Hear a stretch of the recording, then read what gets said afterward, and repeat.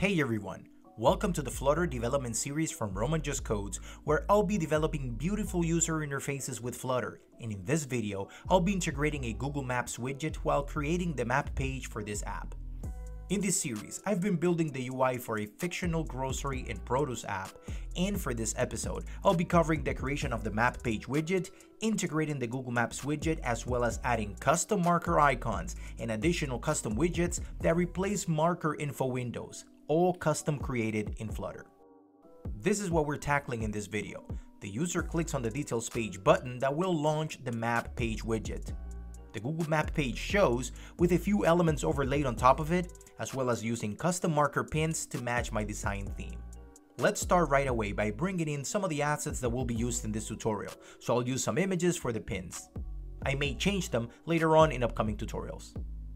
First, add the packages we'll use in this project in the pubspec.yaml. I'm using the Google Maps Flutter package. As of the creation of this video, this is the latest version of this package. Add the iOS specific configuration to make it work. Edit the appdelegate.swift to add the Google Maps import as well as providing the Google Maps API key. Replace it with your own. In the info plist file, add the required location specific permissions to it. We're done with the iOS portion, now let's do the Android specific configuration. Navigate to the Android manifest file and add the location specific permissions as well as the entry for the Google Maps API key replace it with your own. If you haven't obtained a Google Maps API key, you can do so via the Google Cloud Platform Console. With your account, navigate to API and Services, Dashboard, or you can go straight to Credentials and grab your Maps API key. Make sure these services are enabled for you before moving forward. Check some of the links in the description on how to enable those. We're ready to start. Let's create a page widget called mappage.dart created as a stateful widget as we'll maintain state within this widget. As usual, I'll add a text widget to test that things are in place. I'll do the plumbing right away for the details page location button to launch this page by using the navigator.push provision. Navigate to the details page, click on the location button, yikes. Okay, it works, so let's move on. Well, at least I'll add a scaffold around it, which I'll need anyway down the line.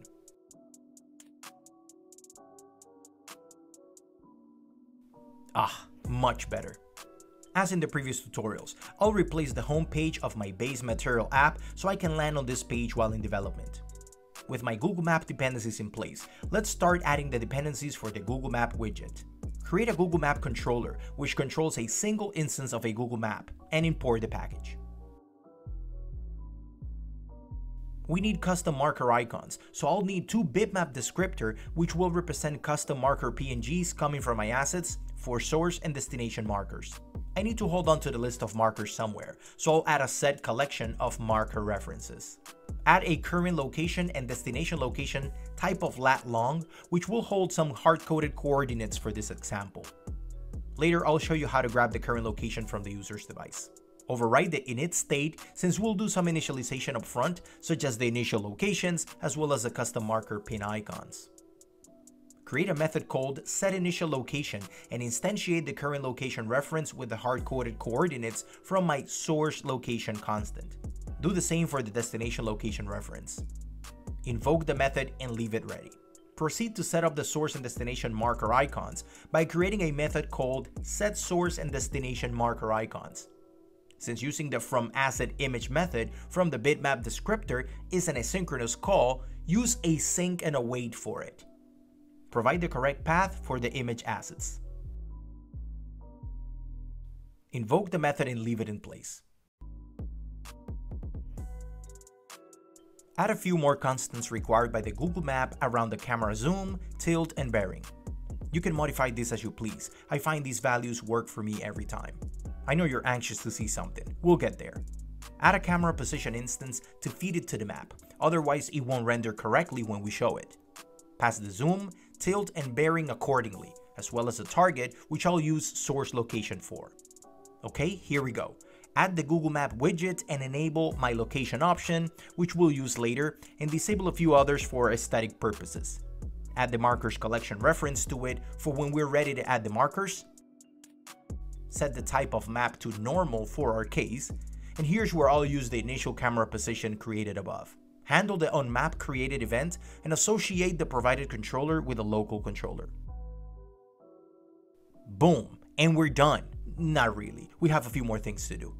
Let's start showing the custom pins on the map.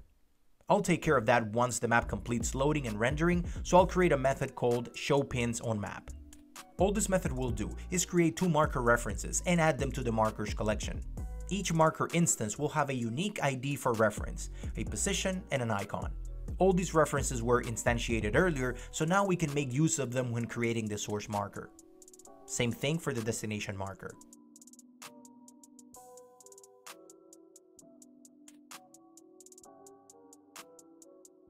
Since we want to trigger an update upon adding the markers, surround these inside a set state so it triggers a rebuild. Instead of the out-of-the-box markers, we got custom markers. We'll use much cooler pins later, you'll see, but these will do the trick. If I want to overlay things on top of the map, I'll need to refactor this and move it inside a stack widget, that way the map is below and things can be overlaid on top of it. Make the map fill the stack by putting it inside a positioned fill widget. Now we're ready to place things over the map. Let's work on the user badge widget that goes at the top. Add another position widget wrapping a container widget. As a child, add a row as things will be laid out horizontally. We'll add a fixed container widget that will serve as the avatar image holder. Use a decoration image to set a background image to this container. Add a border radius and make it cover the container using box fit cover. Image shows, now add some space to the right of it using a sized box. The next element in the row will occupy most of the real estate in it, so use an expanded widget to make it stretch. Add a column widget as a child since we'll be laying down two text widgets for the labels. Add the appropriate styles for them.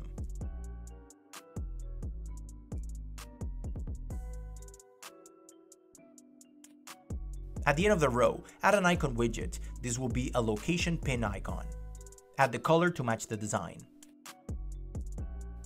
My design makes this container look like a pill, so let's build it like that.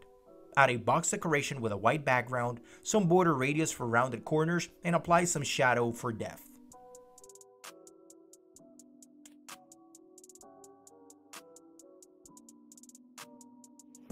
Add padding and margin for spacing. Make the text align to the left of the image by applying cross-axis alignment start to the column widget. My design shows a border around the avatar image, so let's apply it.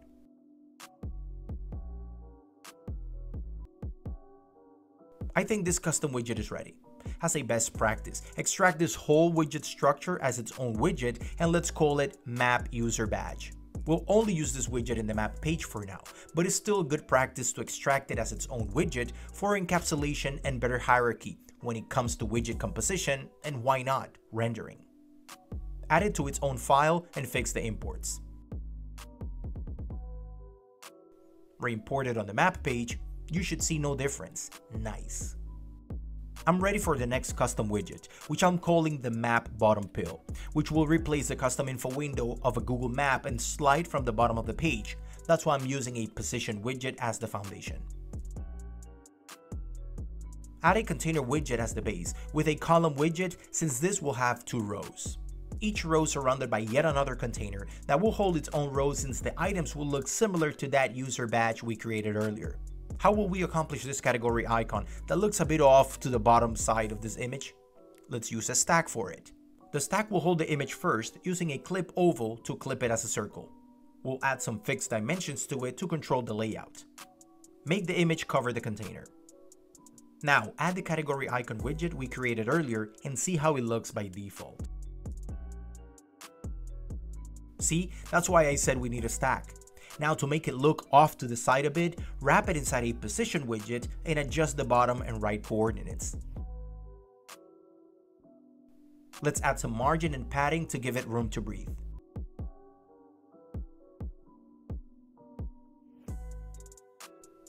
Add a background color, rounded edges with border radius, and a shadow effect for depth.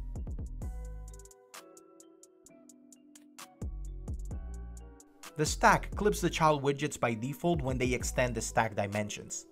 Use the stack option clip behavior and set it to clip none. And there you go. I'll have to refactor the category icon so I can manipulate the padding it has, as opposed to having a fixed padding, so I'll add a padding property to it. By default, it will have the value it had before, but I want to supply my own padding from the outside.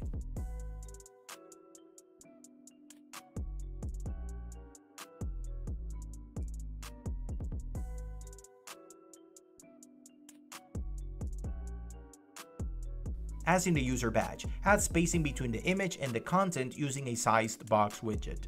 Add a column widget to lay down the items vertically. I'll add two text labels to it with appropriate styles.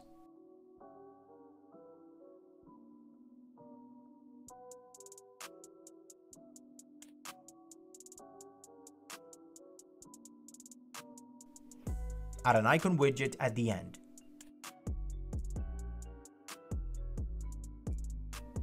I want the middle content to stretch and occupy most of the real estate, so you know the drill. Wrap it inside an expanded widget. This whole container is the top row, so now let's tackle the bottom row. It'll pretty much be the same, so I'll skip ahead.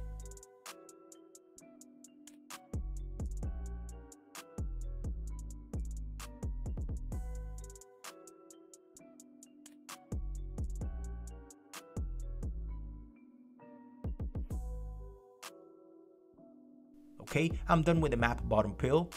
Let's extract it as its own widget as well, which I'll call map bottom pill.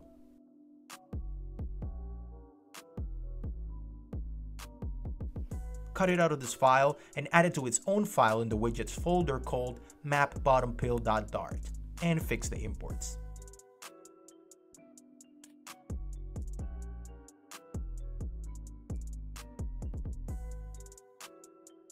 Re-imported on the map page. Nice. The only thing I may be missing from this design is the app bar widget, which as you may remember, I made it explicitly show on top of things by adding it as the last widget in my stack. That way it shows on top of everything. Here I'll do the same trick.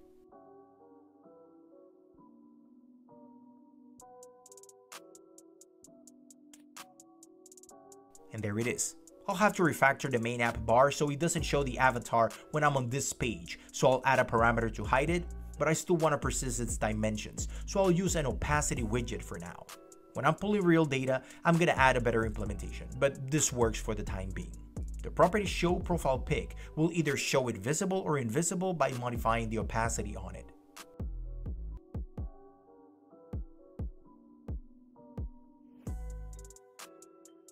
And there it is. Only for this page, I'll hide the header avatar image. Now let's make things pop. I'll make it so that every time you tap anywhere in the map that's not the pin, it will slide the map bottom pill out of view and slide it back up when tapping on the destination pin. Let me add some constants to reflect the position coordinates we'll be altering here.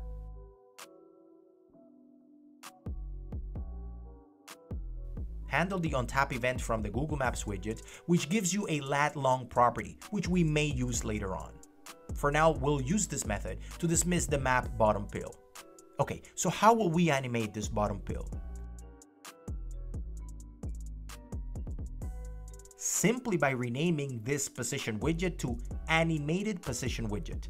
There's a series of widgets available in Flutter that simplify the creation of animations and make it so straightforward rename it to animated positioned, add a duration and a curve, and add a property that will change when triggering a state change, and you'll see it come to life. In our case, we want to modify the bottom position of this widget along an ease in out curve for half a second. The animated position widget takes care of the rest. Add the property that will change upon triggering a state change, in my case it will be called pin pill position and add the property to the animated position widget that you want to affect, in our case, the bottom position. It will pull the widget from the bottom as this property changes value from positive to negative. On tapping on the map, trigger the state change by calling set state and flipping the value to a value that makes the container show off the screen. I'm calling it pin invisible position. Check it out. Now add the other part which is bringing it back up reset the pin pill position to a value that shows it on the screen. I'm calling it pin visible position. Tap on the map, slide down. Tap on the pin, slide up. Nice and easy. I want to demonstrate another one of these useful out-of-the-box animated widgets by animating the user badge widget we created earlier. Let's make it so its background color as well as the color of the label changes when tapping on its corresponding marker pin, shall we? For that, we'll use another similar useful widget, the animated container widget. Rename the container widget to animated container and supply a duration, half a second would do, as well as a curve. I'll stick with ease in and out and a flag that we'll use to keep track of the changes to whether this user badge is selected or not. We'll just call it that is selected. Add the ternary logic for each corresponding property in this widget that we want to affect, in my case, the root container widget's background color and the labels.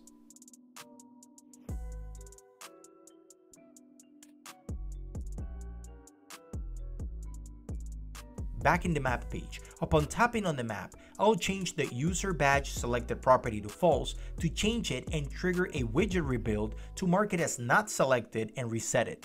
And also upon the user tapping on the source pin, I'll trigger the rebuild to mark it as selected and change the color. As you see, by using the animated positioned and animated container widget, I brought a bit of interactivity at a cheap cost.